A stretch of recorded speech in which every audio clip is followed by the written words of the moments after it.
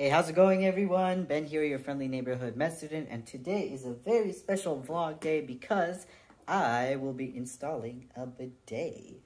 And boy, did I have such a hard time getting this bidet. So like a couple of weeks ago, I decided I wanted to get a bidet because I've been seeing it so often. Like people use it all the time. So many of my friends use it, but I've never really gotten a chance to use it on myself. And you know, I'm South Asian, so we already have that hygienic process that process of using water to clean our bits but usually we use the old-fashioned way which is usually just um, like um, like a little water planter. But it is like in in the us it does get a little uh, uncomfortable to use just because i don't really want to touch anything while i'm cleaning myself down there. But uh, two weeks ago uh, i went over to my girlfriend's place and she is a bidet convert and I used a bidet for the first time, which was amazing. So I decided to get one for myself. But Amazon decided to choose violence because for some reason when I ordered it, it took forever to get here. It took about a week and I have Prime, so I should have gotten it in like four days ago.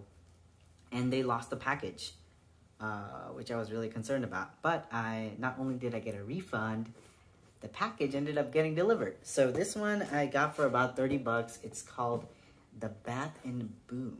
Or is it Bath and Bum? I don't know. Are they trying to be more fancy? But it's called the Bath and Bum um, bidet attachment. And it's like, it looks like a wooden knob. It looks super cool. So I want to install it and see how it works. So let's get started. So I just unboxed it and it looks so cool. Like this is the bidet itself and it has that wooden knob. There's an, also an option for a black one, but I got the wooden one because you'll see later on in this video that my bathroom actually has like this wooden shelf. So I thought it would fit perfectly with it. But it looks pretty cool and there's also two nozzles for this unit. One for the front region and one for the behind. And a really nice and smooth dial. So I am um, so excited to install it. So the instructions say they it takes about 10-15 minutes to install, but we'll see uh, I have the tools because I have a toolbox, but we'll see how long it really takes me because when I tried to install it, when my girlfriend moved at her new place, it took us forever because of how the toilet seat was uh, malfunctioned. So, um, yeah, I'm excited, but also a little worried about how long this takes me because I have to be ready in an hour for a residency interview night meet and greet. So this is what I was talking about, about fitting the theme of my um, peeing and pooping areas that I already have this like wooden ledge that I installed a couple of weeks ago. So I think this wooden accent on the bidet is just gonna fit right into the theme. So I do have this trash can here and I'm probably gonna have to move it here um, for the foreseeable future once I install this bidet because it's only one directional, which sucks because I'm actually left-handed. So I'm just a left-handed person living in a right-handed person's world.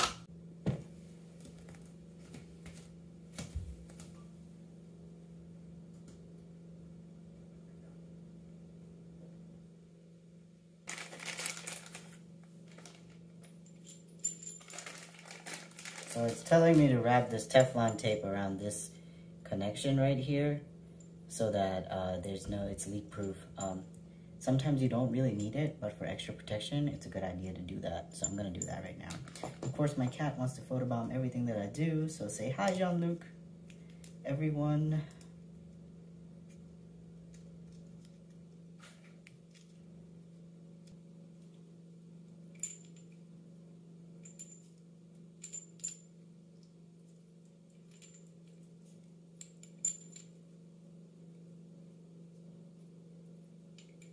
Much of this do I really need?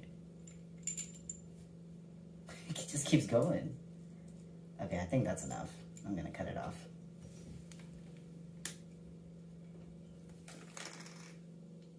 Okay.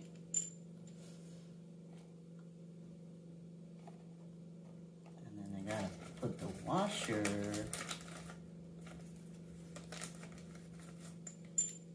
Gotta put the washer up on this top section top section. Alright, and that should be what I all I need really. To connect the T valve into my water inlet. Yep, it looks like it.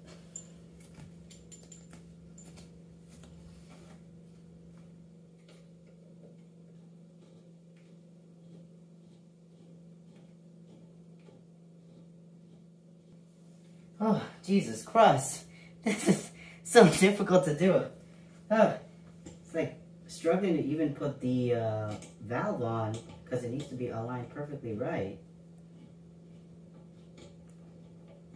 For some reason, it's not doing it. I had the same issue when I tried to install it in my girlfriend's. Alright, uh, turns out I was going the wrong direction. uh, I'm gonna just tighten it with a wrench just so that, you know, it's secure. Because for some reason, I might have not angled it properly. Let me try again. Alright, so now I just have the T-valve installed. I'm going to show you what it looks like. So this is what it looks right now. This is the original connection that used to be up here. But now I put the T-valve in. And so now I just have to hook the connection up and assemble the bidet. The next big step is to connect the flexible hose to the T-valve and the connection on the bidet.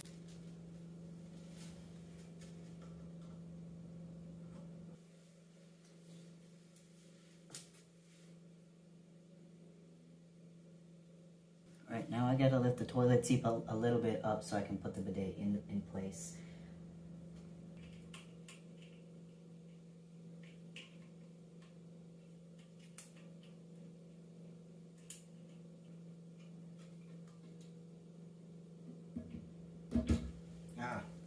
So this has a simple uh, toilet seat lift. I was trying to actually just take off the tabs on the top, but that's not how it is because it's more simplified. Uh, much easier than uh, what I had to do at my girlfriend's home to install hers. So I think I just need to flip the tops, the tabs, and I should be able to slide the bidet in. Okay, so what I ended up having to do is just unscrew, just to loosen it just a little bit in the bottoms, and then lift up this top and unscrew with the flathead on each side, and now the lid lifts up a little so I can squeeze the bidet in.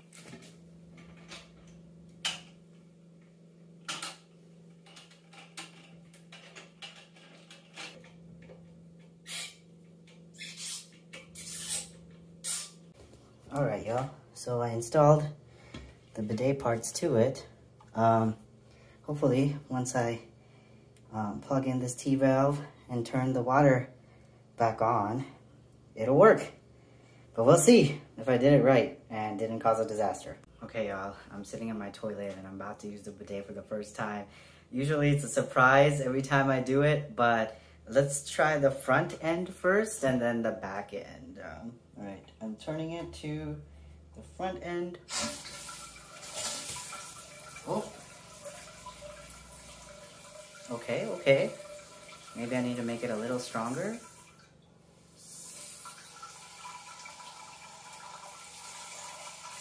Oh! oh my god. um, oh my god.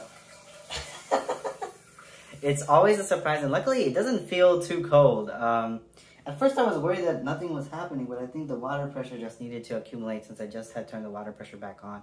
I do think I need to sit a little bit further back for it to get my, uh, to my, to get my frontal or uh, push the bidet more towards the front.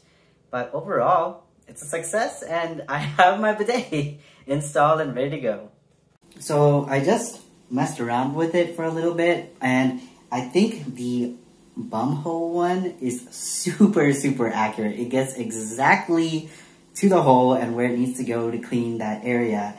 But I think the frontal one, for me, I need to shimmy a little bit to adjust. But that, I don't think that's a flaw on the design of this bidet. It's more of how human anatomy is different for everyone. I guess mine is a little bit more uh, further up than it is uh, for the average person.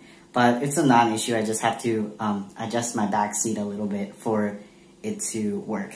But successful bidet installation, much easier than when I first installed it. Um, it still took me about 50 minutes though, uh, because of the struggles that I had uh, along the way. But um, I have more than enough time to prep for my meet and greet night for my interview. Alright, y'all. So before I end this vlog for today, because that took a lot out of me, uh, it was like me fighting with the toilet seat. But um, before I end this vlog today, I wanted to show y'all some of the I hate pieces that I've been getting because of the election cycle happening in Georgia right now. So uh, I've been getting a ton of campaign mail, a ton, ridiculous amount.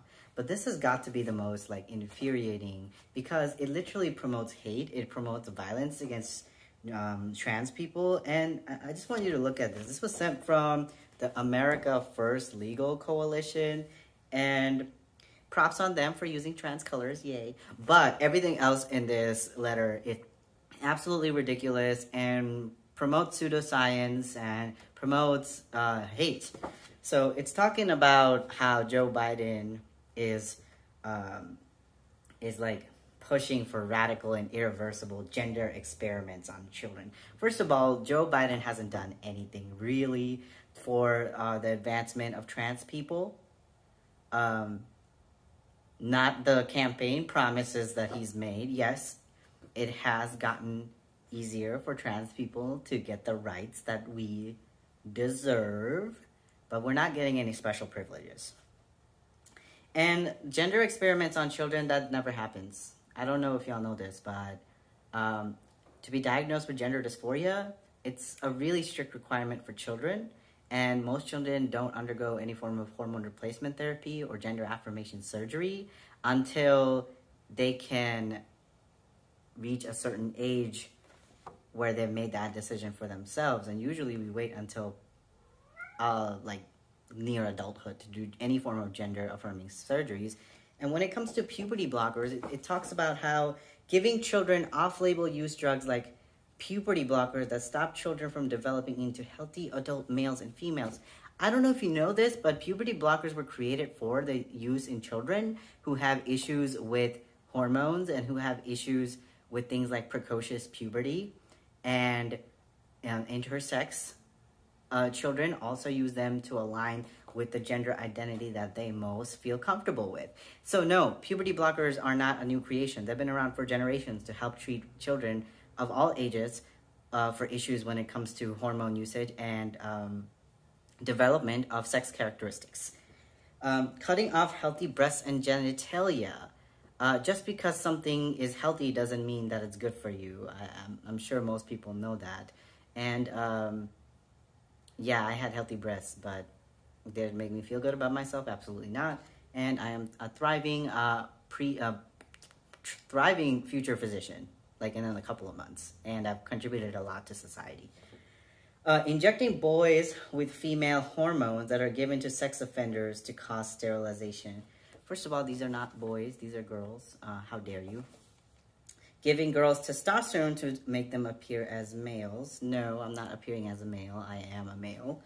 And secretly calling boys by girls, secretly calling boys by girls' names and using incorrect pronouns in school. Actually, this is what happened to me um, when I was uh, a teenager, and it wasn't secretly. People discriminated against me for my gender identity. So no, uh, this is entirely like derogatory. It's like spreading misinformation through uh, the USPS, and this is entirely irresponsible and shouldn't even be allowed uh, to be distributed.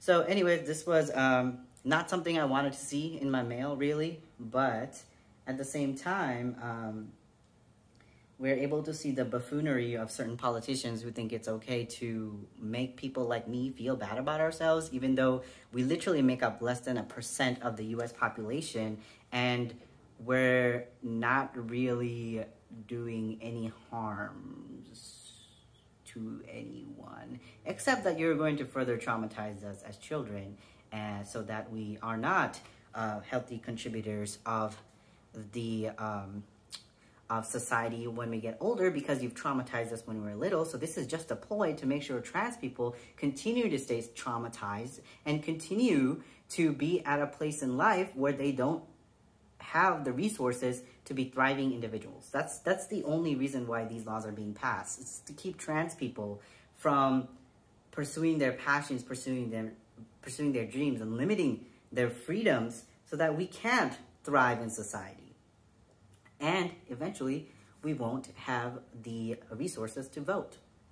That's the only reason. Anyways, I hope y'all enjoyed this vlog that I posted. I hope y'all enjoyed uh, my struggles with installing a bidet. I'm going to go get ready for my meet and greet for my interview tomorrow. I'm going to meet with the residents, talk about their program, and I'm very excited to learn about it and not um, have to read uh, this garbage that comes into my mail. Uh, what's it called? The, um, the America First Legal Foundation. I hope y'all have a terrible Halloween, and I hope uh, Freddy Krueger um, terrorizes you. Thank you so much for watching. I'll see y'all in the next one. Follow me on Instagram to keep up with my daily life and my activism work, and um, I love y'all. This is Ben.